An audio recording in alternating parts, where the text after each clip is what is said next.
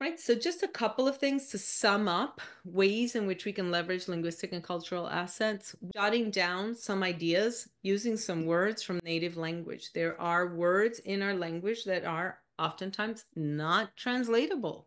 They just sound better. They carry emotion with them. So asking the student, what does that mean? Right, might help us understand their emotion at that moment but it also allows us the opportunity to provide them with the language. What word would they use instead of? And continue to develop that language.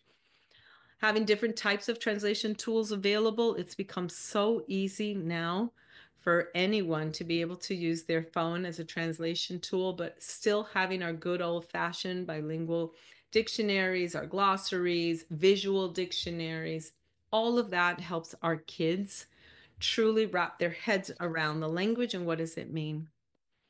Sharing authentic texts, and we talked a little bit about that, or using their lives, their personal narratives as the story. Allowing time for students to process their perspectives with their peers. It helps not only build a community in your classroom, but it also allows them to create those bonds. Suddenly, we're not that different anymore. Suddenly, we actually have a couple of things in common. Um, we talked a little bit about writing that includes features of English and their native language, and that's another session for another day. But a lot of our language comes through when we're using the other language.